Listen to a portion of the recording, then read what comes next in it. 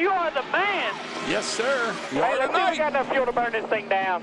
When we lost Dale Earnhardt in the first of 2001, they retired the number three. Richard Childress said we'd only bring it back for family. Good job, Austin. Love you, buddy. Love you. Hell, hell of a job, man.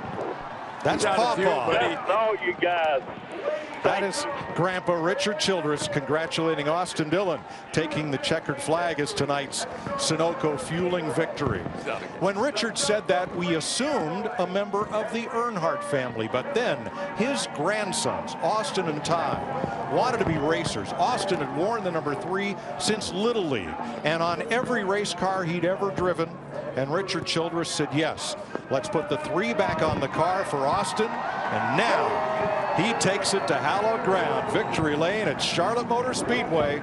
Although I think they're going to have to push it there. I, I wouldn't really worry about that. He spun the tires for about 20 feet, and then it ran out. David Pearson went to victory lane in car number three in the 600. So did Buddy Baker.